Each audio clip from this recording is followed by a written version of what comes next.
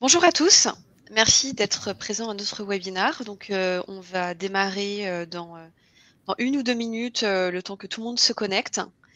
donc voilà, merci en tout cas d'être présent aujourd'hui. Et puis, on, va, on va démarrer incessamment sous peu. Bonjour Nathalie. Bonjour à tous. Bonjour Rossine. Bonjour.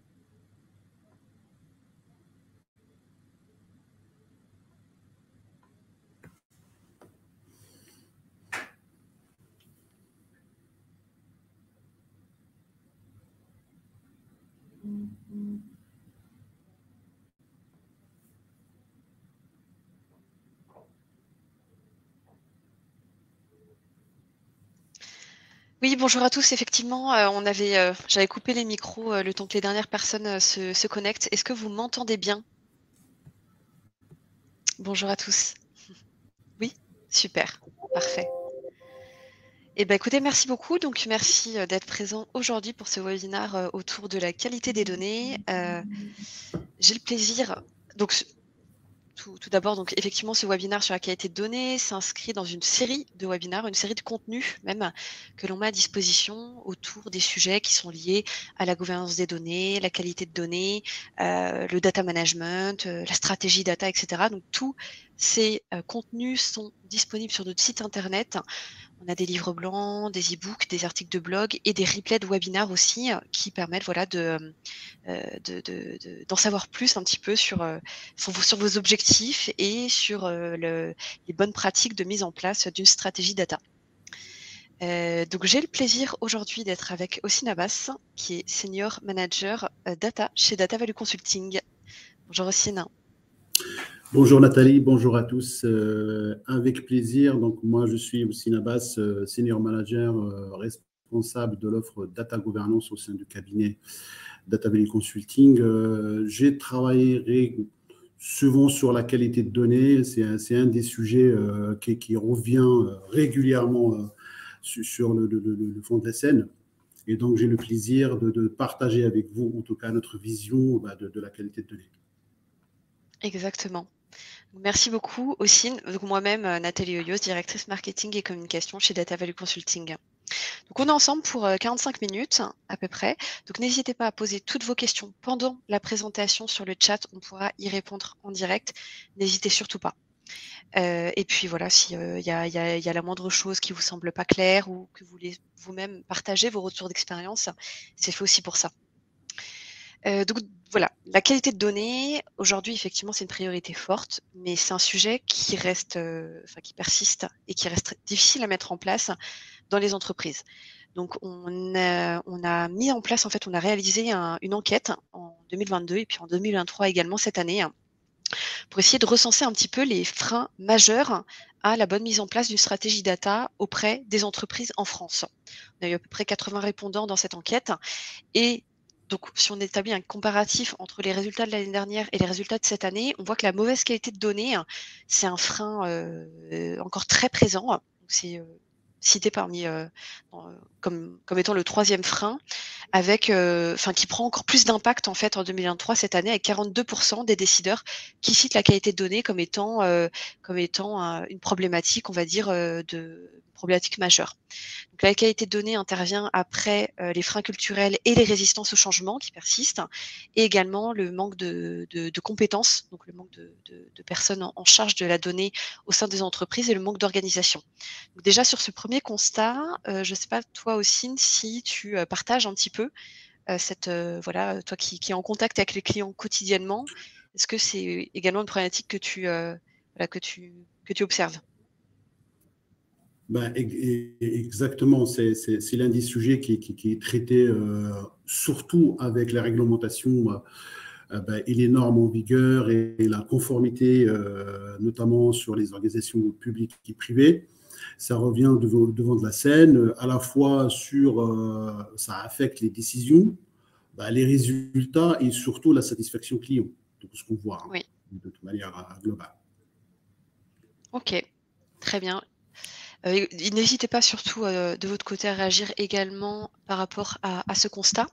Donc ça nous amène en fait à une question euh, qui est de définir un petit peu le pourquoi est-ce qu'il faut améliorer la qualité de données, c'est-à-dire quels sont les impacts concrets pour l'entreprise quand il s'agit de mauvaise qualité de données.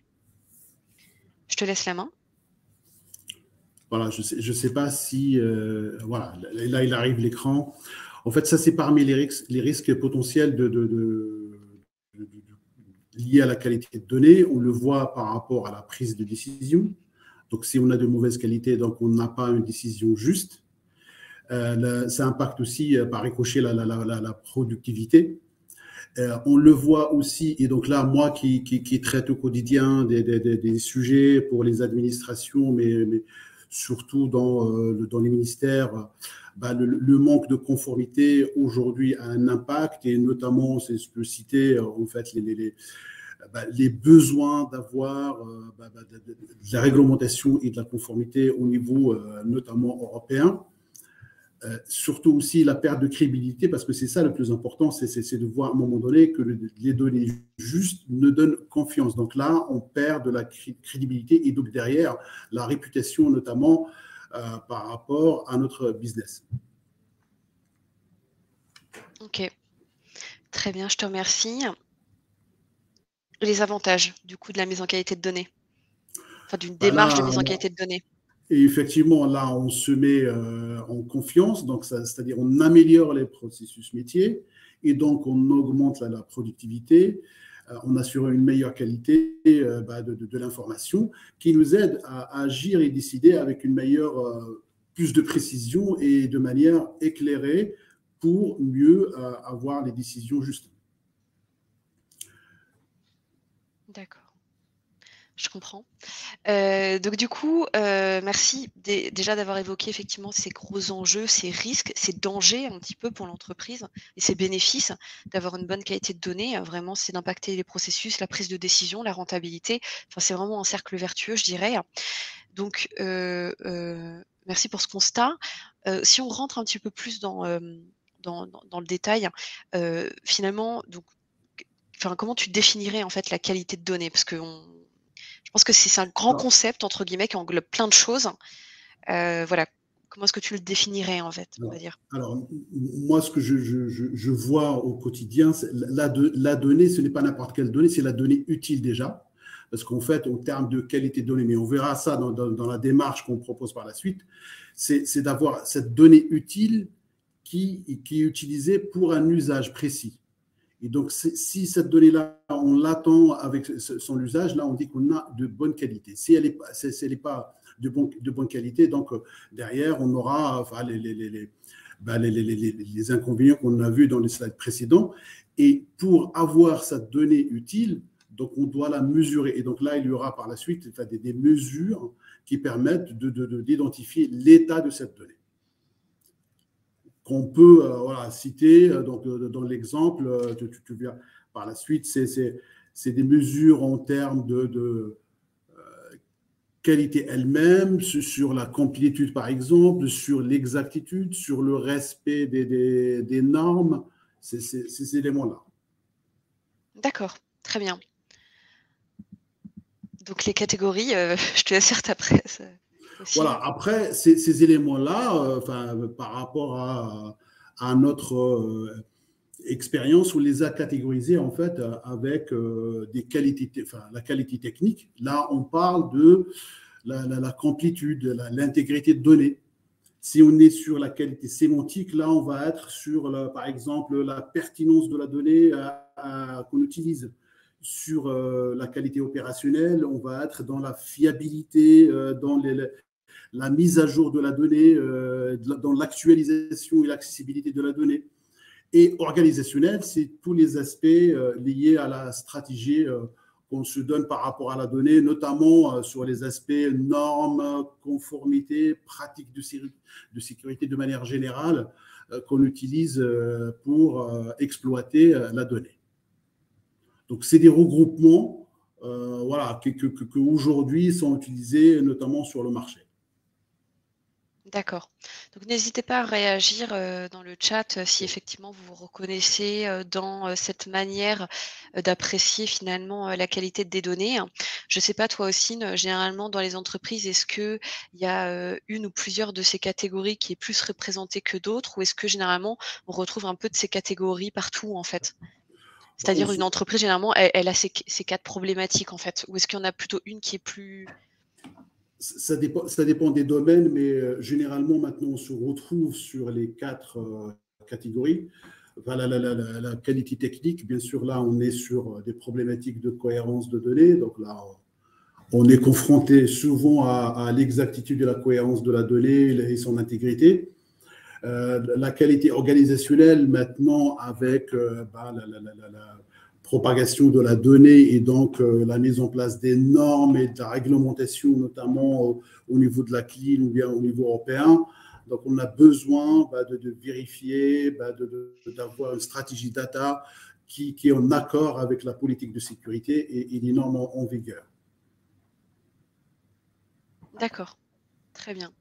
Eh bien, écoute, je, te remercie. Euh, donc, effectivement, maintenant qu'on a bien situé euh, euh, la manière d'appréhender la qualité de la donnée et euh, la donnée elle-même, finalement, il va falloir mettre en place dans sa démarche de mise en qualité une stratégie de mesure.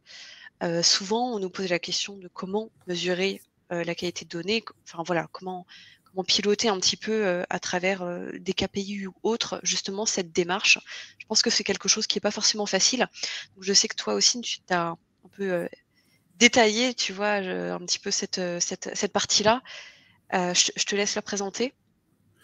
Alors, sur, sur la mesure, effectivement, c'est un sujet qui arrive. Maintenant, oui, je constate que j'ai un problème de qualité de données. Donc, aidez-moi comment je fais. Là, je cite un, client dans, dans, dans l'administration, mais euh, sur le domaine de l'immobilier, où il était confronté sur bah, de la cohérence de la donnée, de la précision, mais, mais aussi euh, bah, de, de, de, de, la mise à jour de, la donnée. Donc là, nous, ce qu'on dit, euh, c'est euh, on, on, prend les mesures qui sont, par exemple, là, qui sont présentées, c'est je prends là, la cohérence. Donc là, c'est essayer d'avoir les règles de calcul qui sont voilà, affichées dans la mesure. Donc là, par exemple, c'est le nombre d'incohérences et, et de voir par la suite comment la, la, mesurer.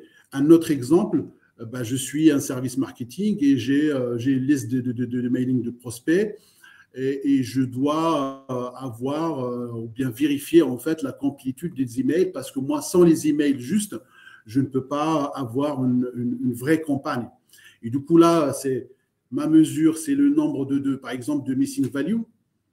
Mais je peux dire aussi, moi, tant que ma base n'allait pas juste à un seuil de 90%, je ne peux pas lancer la campagne parce que je considère que ça ne sera pas euh, efficace. Et donc là, on rentre à la fois bah, la, mesure, comment je calcule euh, mon attribut de qualité de données, mais aussi je rajoute un seuil pour dire, moi, tant que je n'ai pas dépassé ce seuil-là, je ne peux pas considérer que je suis satisfait de ma qualité de données. On le voit aussi euh, aujourd'hui, je pense, voilà, nous, nous, le présent utilise aussi euh, bah, de, la notion, en tout cas des sujets de, gouvernance de données, mais la gouvernance de données aujourd'hui, elle a un lien fort de plus en plus avec la qualité de données. Et à chaque fois qu'on traite le sujet, à minima, on doit euh, mesurer le seuil de qualité de données par rapport aux données qu'on souhaite mettre dans la gouvernance de données. D'accord.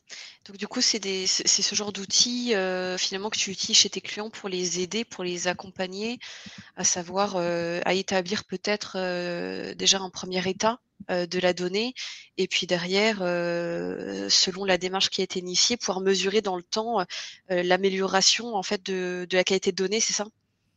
Alors, ça peut être des outils, mais ça peut être aussi des pratiques, ça peut être de l'organisation. Donc, en fonction de, voilà, de l'analyse, euh, des, fois, c'est c'est un ajustement de pratique influe sur la qualité de données et, et, la mise en qualité.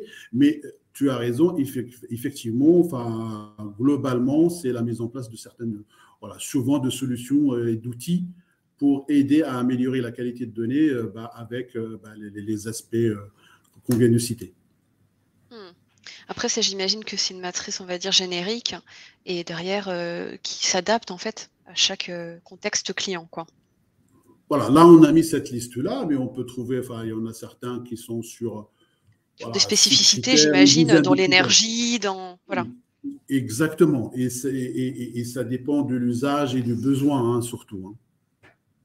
Tout à fait, tout à fait, exactement. Euh, merci beaucoup, Ossine pour la prochaine slide, en fait, on voulait euh, effectivement euh, lancer un petit sondage. En fait, on voulait vous questionner hein, justement sur, euh, vous, votre contexte, ce que vous avez mis en place, ce que vous avez envisagé à ce jour justement pour traiter la qualité de données au sein de votre entreprise. Donc, il y a un sondage qui va apparaître. Je vais sortir les quatre questions. donc, la première option, donc option 1, pour traiter la qualité de données, vous avez plutôt mis en place des outils de gestion de la qualité de données, ETL, euh, DQM, data governance. Option 2, vous avez mis en place une politique de qualité de données euh, alors, vous pouvez cocher plusieurs cases. Hein. Un processus de surveillance continue, des règles, des normes euh, sur les données, une sensibilisation aux utilisateurs, des, procédures, des documentations, etc. Vous avez vraiment travaillé sur la gouvernance. Voilà, des fiches réflexes. Moi, j'ai un client euh, dans le secteur public. Hein. Je réponds aussi à Madame Brival, Béatrice. Oui, effectivement, c'est applicable hein, aux données de collectivité. Euh, ils ont mis en place euh, dans le secteur public des, fiches réflexes qui permettent d'aider les utilisateurs à mieux renseigner les qualités, enfin, la, donnée et l'information dans les systèmes d'information. C'est ça. Donc option, option B. Option C, aujourd'hui la qualité de données, c'est un sujet, mais malheureusement qui n'est pas traité en amont. Donc les problèmes, en fait, vous les gérez manuellement dès qu'ils arrivent après coup, malheureusement pour manque de proactivité ou autre. Ou option D, euh, la donnée, c'est un sujet qui est assez méconnu au sein de votre entreprise et c'est justement une démarche que vous souhaiteriez mener euh, pour 2023. on va vous lancer le sondage. Marie, je ne sais pas si de ton côté.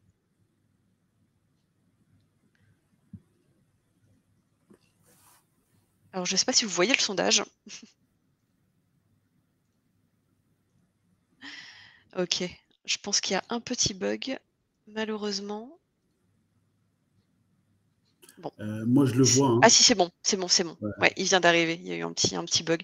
Donc, on vous laisse quelques, minutes justement pour regarder comment vous avez traité la, comment vous traitez la donnée, la qualité de données, pardon, sans vos entreprises. Est-ce que c'est des outils de gestion qui vous permettent de traiter ça? Est-ce que vous avez mis en place une politique de qualité de données, une gouvernance de la documentation, un accompagnement des utilisateurs? Est-ce qu'aujourd'hui la qualité de données, c'est un sujet mais qui est traité, on va dire, après coup et manuellement? Vous n'avez pas de politique derrière, ou est-ce que c'est un sujet justement méconnu, la data c'est quelque chose de nouveau, euh, sur lequel vous souhaitez sensibiliser euh, votre entreprise, et donc un sujet que vous souhaitez mener pour 2023 on vous laisse euh, répondre. Et je pense qu'ensuite, une fois que les personnes auront répondu, j'aurai les, retours.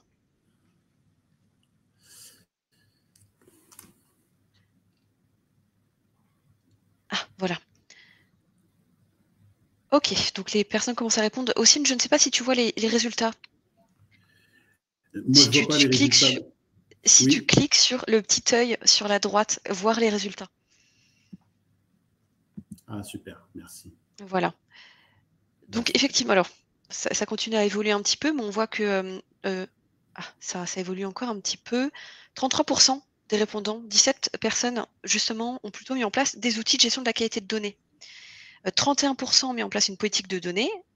23%, effectivement, bon, traitent après coup manuellement les, les, la qualité de données et 13% pour 13%, c'est un sujet qui est encore méconnu. Je ne sais pas si tu veux réagir aussi par rapport à ces, euh, à ces résultats.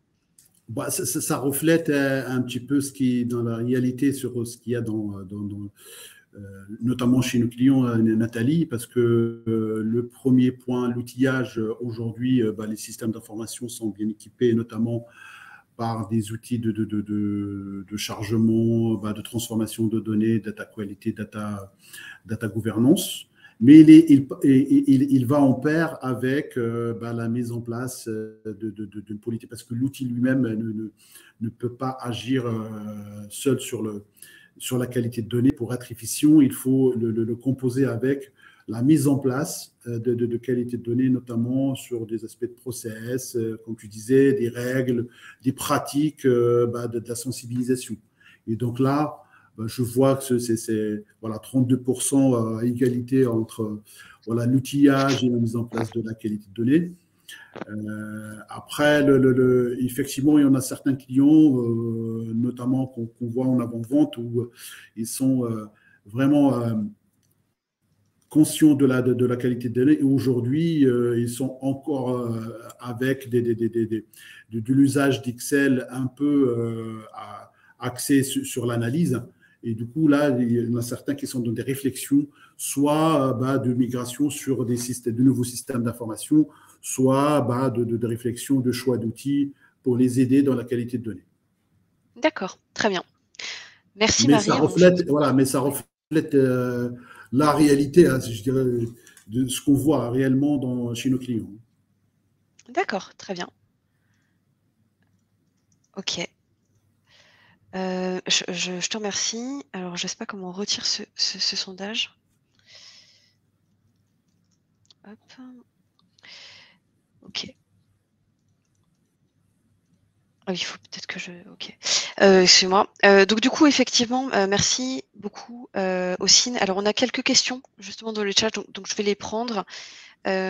Donc, par rapport à ce que tu disais tout à l'heure, il y avait une question que j'ai pas vue. J'ai lancé le sondage sans l'avoir vu sur la, la, partie stratégie de mesure que tu mettais en place tout à l'heure. Une personne pose la question est-ce que c'est applicable dans les collectivités territoriales? Oui, tout à fait. Donc, moi, je l'ai fait sur l'année dernière sur un sur un client qui n'est pas dans les collectivités, mais c'est dans le secteur public, euh, où les données, euh, c'est des données euh, dans l'immobilier, mais aussi euh, dans la logistique. Donc, effectivement, j'ai appliqué en fait les mesures qu'on a. D'accord. Donc ça s'adapte en fait, ça s'adapte au contexte, que ce soit dans le secteur public, le secteur privé, que ce soit, je sais pas, la pharma, la banque, avec des données sensibles, très, avec une forte réglementation et autres on peut toujours avoir cette démarche-là, quoi. Tout à fait. Tout à fait. D'accord, super. Euh, ensuite, on avait donc d'autres réactions par rapport au sondage. Donc, une personne qui disait qu'il manquait une case pour dire que les travaux sont en cours, que ce soit sur l'aspect outil ou organisationnel. Alors, effectivement, la façon dont on a présenté euh, l'information, c'était on a mis en place, donc c'est fini. Mais j'imagine que c'est toujours de toute façon quelque chose de, de, progressif qui ne finit jamais. En fait, c'est un chantier entre guillemets en continu à mener euh, pour effectivement euh, parvenir toujours, en plus avec les changements de l'organisation, à toujours s'adapter euh, en fonction de nouveaux processus ou d'une nouvelle stratégie. Donc effectivement, euh, pour beaucoup, les travaux sont en cours en ce moment. Euh, c'est un travail d'amélioration, Nathalie, on continue à la qualité de données. Exactement, c'est ça. Il a, il, a, il a raison, monsieur. Tout à fait. Et euh, j'ai eu d'autres, on a eu d'autres réactions, notamment euh, une personne qui disait qu'elle était en cours de changement de RP, donc une nouvelle gouvernance à mettre en place. C'est l'occasion de réécrire aussi justement ces, ces, processus, cette mise en qualité des données. Ça c'est très intéressant parce que la vie des entreprises est mouvante. Il y a plein de nouveaux projets aussi. Euh, des changements effectivement de, de socle technologique. Euh, toi aussi, je ne sais pas si tu es souvent C'est intéressant parce ce... que voilà, tout à fait. Je vais dire juste 30 secondes. C'est intéressant aussi parce que le changement de, de RP, euh, qui dit changement, c'est-à-dire reprise des données, et donc à un moment donné, il faut euh, se conformer, et donc là, à, la cible qu'on choisit en termes de RP, et donc il y aura certainement un sujet de qualité de données euh, à mettre en place. D'accord. Et enfin, une dernière remarque, une personne qui disait euh, par rapport au sondage des, que parfois il y avait des outils IT qui ne correspondaient pas toujours aux besoins métiers. Donc à la fois, ils ont mis en place des outils euh, de qualité de données et ils sont aussi sur la réponse C, ils doivent quand même traiter les problèmes en fait en, euh, dès qu'ils arrivent et, de manière manuelle. Donc du coup, effectivement, parfois il y a un manque d'alignement euh, par rapport euh, aux, aux, outils en place et aux besoins réels euh, de, des utilisateurs. Quoi. Tout à fait, ce n'est pas faux, parce qu'en en fait, des fois, on, peut être sur des choix technologiques qui, répondent à des usages précis, mais par rapport au processus métier qu'on qu traite, peut-être ça ne couvre pas à 100% et donc on est amené à, à fois à, ajuster avec des procédures supplémentaires ou des actions, comme il le fait là, monsieur, par, par des actions manuelles complémentaires.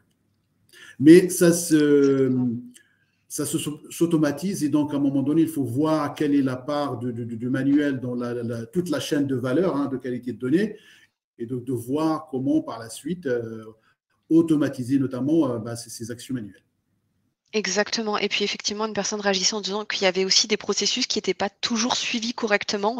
Donc là, effectivement, ça, voilà, c'est un problème aussi de d'acculturation de formation, peut-être des utilisateurs, de compréhension des enjeux et de la manière d'utiliser les différents outils. Euh, donc effectivement, il peut y avoir ces deux, problématiques. Je laisse aussi continuer sur euh, les erreurs qu'on rencontre euh, quand il s'agit de qualité de données.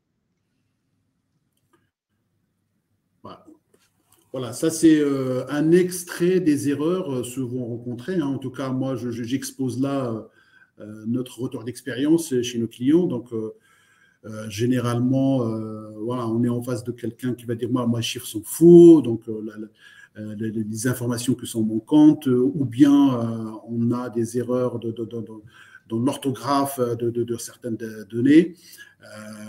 la conformité, souvent ne sont pas contrôlées, donc on se retrouve avec des doublons, voire de la partialité sur, certaines données. Maintenant, avec la réglementation, euh, bah, le sujet de la sécurité de données revient euh, souvent, notamment sur la sensibilité des données hein, euh, par rapport à tout ce qu'on exploite. Aussi, les données dans leur mise à jour, notamment par rapport au référentiel et au système d'information. Donc, je cite l'exemple voilà, de, de, la migration IRP. Donc là, il est vachement important d'avoir euh, l'alignement, quand on, adresse un sujet de migration, euh, des données existantes à migrer par rapport au référentiel euh, cible. Et du coup, là, il y aura certainement bah, des, mises à jour à faire et des, adaptations. Ok, très bien. Donc effectivement, toutes ces, toutes ces typologies d'erreurs euh, finalement engendrent des, euh, des impacts hein, financiers. Hein, Exactement, des, des, impacts financiers ou dans la productivité des équipes, dans l'efficacité des actions. Là, tu citais effectivement des problématiques dans les bases de données clients, les bases de données prospects, qui derrière vont impacter l'efficacité des, des, campagnes marketing et donc la rentabilité des investissements. Donc, du coup, c'est vraiment tout un, tout un cercle. Euh, bah, tu vois, par exemple, juste pour illustrer, euh, Nathalie, par rapport à, à, ton métier, si euh, bah, demain, tu vas demander à l'IT de te faire un, un, formulaire euh, sous Google pour, pour saisir le nom, les prénoms et les, mails. Donc, l'email, souvent, il sera peut-être mal orthographié parce que on ne souhaite pas mettre notre email par volontairement. Donc, si on, on, ajoute une, une brique de contrôle, ça va aider le formulaire à être, on va dire, plus intelligent que qu'une saisie euh, euh, tout simple. Bien sûr. Ok. Euh, quelqu'un posait la question qu'est-ce qu'une donnée ne respectant pas la législation? Est-ce que tu pourrais nous donner un exemple? Bah, La législation en vigueur de, de, de, de type, par exemple, si on a une réglementation sur les données, bah, sur la, la, la, l'aspect euh, bah, des, diffusions de données. Euh, donc là, euh, il y aura, on doit respecter en fait ce qu'on diffuse par rapport à, par, rapport à, la législation. C'est un exemple que j'ai eu par rapport aux normes chez un client dans le privé, dans l'assurance, par exemple, sur Solvency 2. D'accord. Bon, quelqu'un citait, par exemple, la durée de conservation euh, type GDPR. Ça peut être un exemple, effectivement, d'une donnée euh, qui doit respecter une législation ou pas, quoi. certaines ah bah, données sensibles, critiques, euh, qui doivent être protégées, qui ne doivent pas. Voilà, c'est ça. Ah bah, le stockage de la donnée et, la durée de rétention de la donnée, c'est un vrai, un vrai sujet chez, chez, nos clients, hein, parce qu'en fait, Maintenant, euh, de plus en plus, il y a de, la réglementation et de plus en plus, il y a de l'impact sur les chantiers et euh, euh, sur, les travaux. Et c'est un vrai sujet aussi. Hein. D'accord, très bien. Merci beaucoup, Sine. Donc du coup, pour passer vraiment à l'action, quelle démarche de mise en qualité de données est-ce qu'aujourd'hui tu préconises? Alors ça, c'est un retour, encore une fois, c'est un retour d'expérience. Et vraiment, nous, ce qu'on a mis, c'est en quatre étapes. Hein. La première étape, je ne sais pas si tu... Moi, je n'ai pas encore le, slide. Mais en gros, on a l'évaluation de, la qualité de données. Enfin, c'est une prise de connaissance de l'existant. Donc, on va se mettre sur l'existant. Euh, on l'analyse. Est-ce que vous, excusez-moi, est-ce que vous voyez bien tous la slide à quatre étapes? Aussi, tu ne la vois pas? Ça y est, elle est arrivée. C'est bon? D'accord, super. Merci. Donc la première étape, c'est l'évaluation de la qualité de données existantes. Donc euh, j'analyse mon existant. Euh, la deuxième, c'est je définis mes critères de qualité de données là où je veux aller, par exemple, pour chasser bah, les les doublons euh, bah, sur, euh, sur, mon système d'information. Et j'ai défini les règles et par la suite, je mets en place euh, ma, mon processus de qualité de données. Et ces étapes-là permettent de, d'aller jusqu'au bout, mais c'est un processus itératif qui permet bah, d'avoir l'amélioration continue. C'est-à-dire, on ne va pas s'arrêter, bah, je cite toujours l'exemple du formulaire, bah, le formulaire, euh, aujourd'hui, par exemple, je suis sur le dédoublonnage. Donc, ça me permet de, vérifier le dédoublonnage, mais je peux aussi, dans le cadre de l'amélioration, rajouter un deuxième, un troisième euh, niveau de qualité de données que je souhaite avoir. D'accord. Mais vraiment, voilà, je suis sur mon existant. Euh, on verra ça après sur la démarche qu'on a fait, qu'on souhaite vous partager.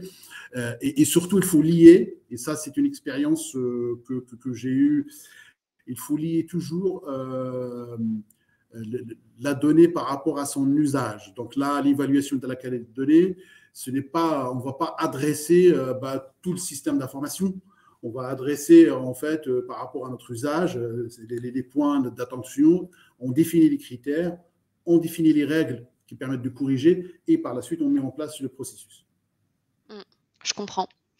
Personne dans le chat euh, euh, nous explique qu'en fait, dans, la démarche qu'ils ont mis en place, ils ont une étape préliminaire qui consiste à identifier les données critiques, car on ne peut pas appliquer cette démarche à l'ensemble des données. Donc ça, effectivement, c'est ce qu'on expliquera après, c'est d'agir par périmètre, d'identifier effectivement les données, euh, le périmètre de données sur lequel on veut intervenir, pour ensuite industrialiser en fait la démarche, enfin entre guillemets euh, l'étendre sur euh, d'autres périmètres. C'est bien ça aussi, non? C'est pour définir, par exemple, euh, un cas d'usage bien précis et sur ce périmètre, un cas d'usage, bah, analyser là, là, où la donnée elle est dite sensible, par exemple. On parle souvent, donc je ne sais pas si monsieur l'a consulté en fait mon livre blanc, mais on parle de données sensibles, c'est-à-dire les données qui, qui, qui, qui sont en lien avec un enjeu, un enjeu métier. Ça peut être euh, euh, bah, le, peut-être le, confinement de, des données, ça peut être euh, bah, la réglementation, comme on dit, en vigueur, ça peut être l'historisation, ça peut être voilà, la diffusion de données à l'échelle de l'open data. Et donc là, on doit, on doit s'assurer que tout, ce qu'on diffuse n'est pas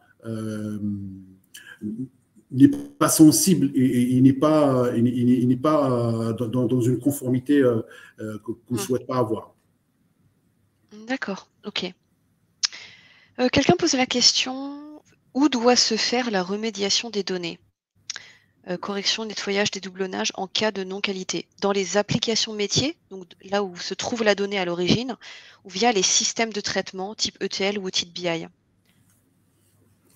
c'est, Merci, euh, Monsieur Lyonnais. C'est, effectivement, c'est, l'arbitrage qu'il faut, qu'il, faut faire, hein, parce que on est généralement dans une, chaîne, dans une chaîne de valeur où on a les systèmes en amont de gestion. Après, euh, dans l'entreprise, on a un système d'information décisionnelle qui permet de traiter les données du système et d'autres, et donc on fait une réconciliation. Généralement, on le fait dans le système d'information décisionnelle, mais euh, encore une fois, par rapport au premier questionnaire, si on a des pratiques aujourd'hui euh, euh, pour améliorer dans le système de gestion bah, la qualité de données, pourquoi pas? En fait, si aujourd'hui, au travers, par exemple, une fiche réflexe qui permet à un utilisateur de mieux saisir la donnée dans le système de gestion, nous recommande déjà d'appliquer bah, cette recommandation pour mieux saisir la donnée et par la suite, pourquoi pas, bah, la mettre dans, euh, cette remédiation dans le, système décisionnel euh, avec les outils euh, de type ETL, par exemple, ou BI. D'accord, ok. Merci Ossine. Je te laisse enchaîner sur, les, les prérequis, les convictions lorsqu'on met en place ce genre de démarche. Un petit temps, je pense. Voilà, c'est une conviction, c'est euh, l'amélioration de la qualité de données. Euh, enfin, c'est une démarche organisationnelle. Donc, à un moment donné, quand on parle, c'est vrai, c'est le quand on parle de qualité de données, euh, généralement, on a de la résistance parce que ça nécessite de, de, de, de s'organiser, ça nécessite à un moment donné de, solliciter, ça nécessite peut-être un enjeu d'investissement, etc. Euh, c'est une démarche, comme on a dit, incrémentale parce qu'on euh, ne peut pas adresser euh, tous les sujets en même temps, c'est-à-dire il faut le mettre par usage, par, périmètre, par enjeu. C'est comme ça qu'on voit, nous, en tout cas c'est notre conviction. la démarche doit être à la fois combinée par des contrôles en amont et en aval, parce que on peut combiner, en fait, comme, on l'a vu, bah, des, propositions de, euh, qualité de données, mais avec, avec une procédure. Comment j'utilise mon système d'information? Et donc là, je suis conscient que je dois aller saisir l'information euh, selon le, mode, le mode up euh, que, j'ai, mais aussi par rapport à, à la qualité qu'on est en train de mettre en place dans le système d'information, par exemple, décisionnel. Et, pour l'outillage, oui, euh, là, on est sur des outils de remédiation euh, voilà, de, euh, type, je n'ai pas cité, mais, mais, ça peut être des ETL qui font les fonctions de profilage, de, nettoyage, de normalisation, de dédoublonnage, etc. Et puis, la qualité de données, c'est un sujet transverse.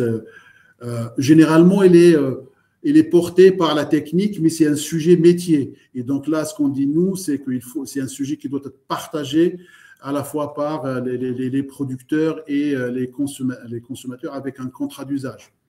Un contrat d'usage dans le marketing, euh, voilà, j'ai, mes mailing list encore une fois des, des, prospects et il faut que je décris un contrat, moi, à quel, à quel niveau je peux utiliser mes données et quels sont les éléments nécessaire euh, que je dois avoir de la bonne qualité, de, bonnes factures pour que je puisse exploiter la donnée, qu'on le met dans un, contrat d'usage qu'on appelle nous un contrat d'usage. C'est un contrat qui, qui, dirige en fait les, euh, ben, les, travaux entre les producteurs et les consommateurs de la donnée. D'accord, ok, très intéressant. Merci beaucoup, Ossine. Euh, du coup, il y a eu quelques problèmes de. Euh, autre sondage qu'on souhaitait lancer aujourd'hui, c'est donc euh, voilà, on, a expliqué une grande partie entre guillemets de, la démarche de mise en qualité.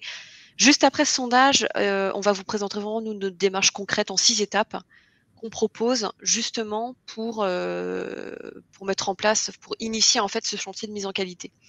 Euh, mais avant ça, on avait envie de vous interroger justement sur euh, les chantiers en fait que vous vous envisagiez, qui vous semblaient intéressants, qui vous semblaient pertinents et peut-être prioritaires. Donc, par quoi est-ce que vous démarreriez au sein de votre entreprise lorsqu'il s'agit d'initier ce chantier de qualité de données? La première, euh, première option, donc un audit plutôt de votre qualité de données. La deuxième option, une cartographie des données par usage.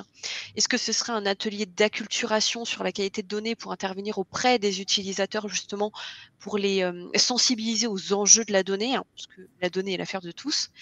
Euh, un benchmark des outils de data management. Est-ce qu'aujourd'hui toute cette démarche a déjà été menée d'audit, de compréhension des enjeux? Aujourd'hui, c'est plutôt l'outil qui va pouvoir résoudre ce problème. Est-ce qu'aujourd'hui, c'est pas un sujet ou c'est un sujet qui est déjà traité? Et c'est pas un sujet, on va dire, d'actualité euh, pour le moment on vous laisse euh, quelques minutes, enfin quelques secondes pour répondre euh, du coup à cette question. C'est intéressant, Nathalie, parce que là, enfin, je ne vais pas influencer le vote, hein, mais euh, ce, qu'on voit effectivement dans, la démarche de qualité de données, moi, ce que je peux dire, c'est que dans la démarche, et on a certains clients qui démarrent par les processus. C'est-à-dire, on va être sur l'aspect processus métier et on va identifier en fait les éléments là on a un sujet de qualité de données. On a certains clients où on va être avec une vision technique IT, où on est sur euh, vraiment le système d'information et on va remonter euh, notamment bah, ce qu'on dit là, la question 2, c'est la cartographie et on va les lier au processus et on, on, on identifie par la suite la, qualité de données. Hmm. Donc, les, ça, c'est les démarches euh, top-down ou bien euh, bottom-up euh, qu'on peut avoir pour analyser et puis remédier la, la, la, donnée. Ok. Je ne sais pas si tu vois les résultats aussi du sondage. En tête, on a un audit de la qualité de données, euh, en seconde option, la cartographie des données par usage. Et ensuite, l'atelier d'acculturation, le benchmark des outils euh, et autres. Je ne sais pas si tu veux justement réagir. Pour toi, est-ce qu'il faut effectivement démarrer par, euh, un audit de la qualité de données Est-ce qu'il y a, d'autres sujets Enfin, voilà. Après, pour moi, les sujets, par exemple, si je prends effectivement, le, enfin, on fait un audit, hein, là, on parle d'un sujet, de quoi on parle, la qualité de données. Donc, à minima, peut-être il faut faire euh, en premier sans influencer. Je fais, je fais mon audit, mais en parallèle, je peux regarder, euh, euh, en tout cas, l'équipe, si, si on a vraiment une connaissance ou bien on veut se mettre à la page sur l'acculturation, sur la qualité de données, pour mieux servir l'audit ou bien la cartographie. Donc, parce que l'audit, là, moi, je le vois comme une vision d'analyse par processus. Et euh, le, sujet cartographie de données, je le vois plutôt euh, euh, système d'information et par la suite, je, le décline par usage. D'accord. Mais pour moi, les, les, trois peuvent, se faire en paire. ok, très bien. Je te remercie. on a certains clients, effectivement, notamment euh, qu'ils ont choisi des outils, euh, enfin, ils, sont dans une maturité, euh, voilà, ils savent très bien qu'il y a vraiment un sujet, un problème de, qualité de données parce qu'ils sont sous XL presque du sol au plafond. Et du coup, là, ils, ils se lancent dans des réflexions sur bah, des outils de data management pour voir déjà de mettre en place un choix d'outils. Hein. D'accord. Je te laisse euh, euh, développer la méthodologie de redressement de la qualité. Il nous reste quelques minutes encore. Et puis n'hésitez pas, vraiment, là on est en fin de webinaire, donc n'hésitez pas à poser vos questions, vos dernières questions. On est vraiment là pour y répondre. Vas-y aussi, je t'en prie. Alors ça, c'est notre, notre démarche qu'on a mis en place sur plusieurs clients. Euh, je, euh, je peux citer un client qui nous a choisi parce qu'il a lu le livre blanc sur la qualité de données. Il nous a contacté pour qu'on puisse l'accompagner. C'est une démarche de redressement, de qualité de données pardon, en six étapes.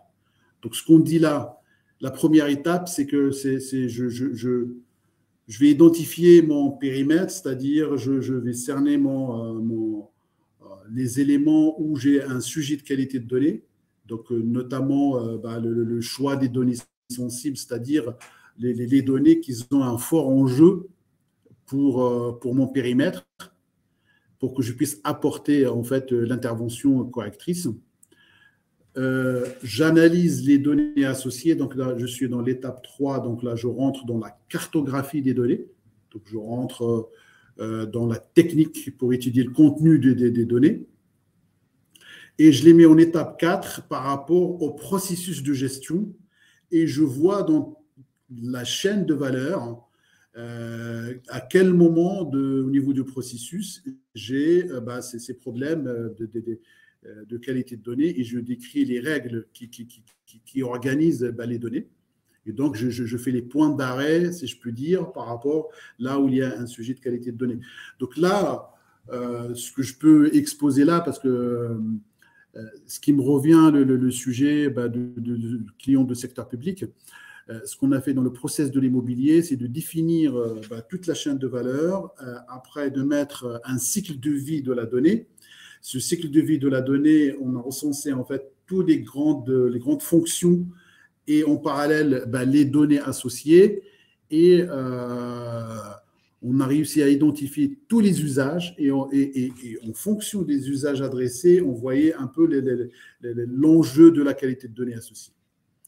Donc l'étape 5, c'est euh, on analyse la donnée et puis en étape 6, euh, on, établit une stratégie d'amélioration. Donc là, c'est la synthèse de ce qu'on a vu. Là où ça fait mal, peut-être en termes de process, peut-être des fois euh, dans la stratégie, on recommande d'utilisation des pratiques, de revoir avec des procédures simples, euh, peut-être euh, former, peut-être acculturer un peu plus les utilisateurs pour mieux améliorer la qualité de données. Et donc là, il y a un aspect euh, qui, qui, qui, agit sur bah, des procédures qu'on peut mettre en place. Et certains, certains points peut-être pour apporter la correction, c'est bah, d'outiller, de, mettre en place des solutions. Et puis, pour, pour, euh, pour certains, certains points, peut-être bah, de changer euh, ou d'améliorer le process lui-même.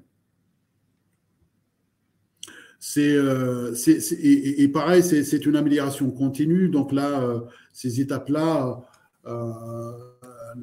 là, depuis l'année dernière, je suis avec cette démarche avec mon troisième client, si je peux dire. Une personne dans le chat demande à l'étape 5, est-ce que analyser les données, ça veut dire mesurer la qualité? Oui, tout à fait. Tout à fait. Je mesure la donnée, euh, la qualité de la donnée. Pardon. D'accord. Et enfin, tu choisis la stratégie d'amélioration. D'amélioration. Et là, et, là, nous, on est euh, en recommandation. Et donc, bien sûr, euh, par la suite, il faut mettre un plan d'action euh, derrière qui permet d'exécuter en fait les recommandations et les méthodes de correction qu'on adresse. D'accord, ok, très bien. Ben, écoutez, j'espère que c'est clair. N'hésitez pas à poser vos questions. On est encore là pour, pour quelques minutes. merci aussi, merci beaucoup pour, pour vraiment tout ce, tout, ce détail et toutes ces explications juste pour terminer, par exemple, là, sur le, client du secteur public, dans l'immobilier, en fait, ils avaient un besoin réglementaire pour euh, le suivi des surfaces de l'immobilier. Et donc, à un moment donné, il y a euh, un besoin, une nécessité d'économie d'énergie, comme on le voit.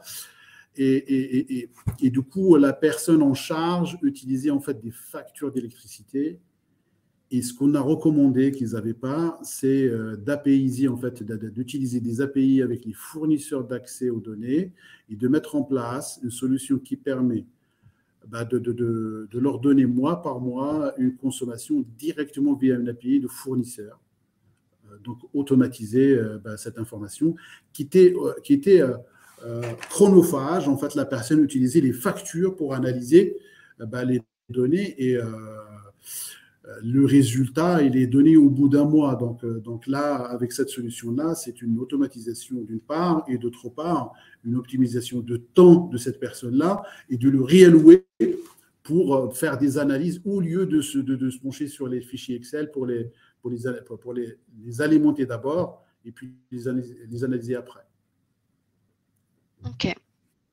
Très bien, merci pour cet exemple concret qui donne un petit peu de, euh, voilà, de d'illustration, on va dire, de retour d'expérience euh, justement sur ce genre de, sujet. C'est vrai que la qualité des données, pardon, c'est un sujet qui est très très demandé. C'est pour ça qu'on l'adresse euh, beaucoup à l'occasion de nos webinaires et on a toujours beaucoup de personnes qui, qui sont intéressées, qui s'inscrivent. voilà, c'est un sujet, c'est un, casse-tête, mais sur lequel il y a vraiment des méthodes aujourd'hui avérées, éprouvées, sur lesquelles on, a des retours d'expérience qui, qui peuvent être mis en place euh, et, qui peuvent vraiment porter, porter ses fruits et, et, apporter du changement au sein de l'entreprise, même des entreprises, on va dire, au maillage complexe, avec, avec beaucoup de personnes qui, puissent, qui peuvent saisir les données, ou dans des environnements très réglementés, banque, assurance, etc., sur lesquels voilà, la, qualité de la donnée est un sujet, on va dire, fondamental. Donc du coup, n'hésitez pas vraiment à, nous solliciter. Vous ferez un mail après ce webinaire avec le replay, avec la présentation pour que vous puissiez aussi potentiellement voilà, nous solliciter pour, pour, un échange avec nos experts pour entrer un petit peu plus dans vos problématiques, dans votre contexte et la manière dont on peut vous aider. On peut vous aider de, manière très différente.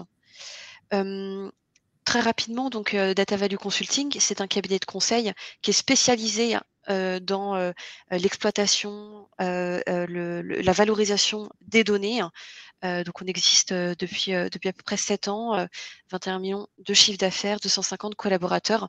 Aujourd'hui, on est vraiment, on, prône une expertise vraiment ciblée sur la data. C'est ce qui nous différencie des approches généralistes d'autres. Donc du coup, on a des retours d'expérience, on a, beaucoup, voilà, on a fait beaucoup de choses auprès de clients, de grands clients du secteur privé et du secteur public. Justement autour de la donnée. Donc, on, accompagne les clients sur toute la chaîne de valorisation de la donnée définition d'une stratégie de données, définition d'une gouvernance des données, on fait de l'acculturation, de la mise en qualité de données, mais également euh, de, la définition de portefeuille de cas d'usage pour aider les entreprises justement à, déployer un petit peu cette stratégie, et puis de l'aide au choix d'outils, de, l'implémentation, du déploiement d'outils.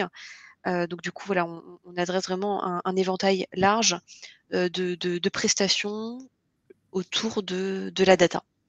Voilà très rapidement pour Data Value Consulting. On a beaucoup de ressources mises à disposition sur notre site internet, donc ça vous permet vraiment d'aller euh, consulter un petit peu, euh, puis de, partir à la rencontre un petit peu du cabinet, de ce qu'on fait, de nos convictions. n'hésitez vraiment pas à, aller les voir. Je voulais te remercier aussi et je voulais vous remercier euh, à tous d'être présents et d'être aussi fidèles à nos, à nos webinaires. C'est vraiment un plaisir. Merci Disponibilité. Merci à vous tous, merci Nathalie. Euh, et encore une fois, je reste disponible si besoin d'un REC sur, sur, sur la démarche ou bien sur un sujet de qualité de données qu'on a déjà illustré chez nos clients. Je, je, reste bien sûr, Nathalie, euh, disponible. Super, merci. Merci à tous euh, pour votre présence. Et puis, je vous souhaite une excellente journée. N'hésitez surtout pas à nous solliciter si vous avez besoin. Merci à tous. Bonne journée tout le monde.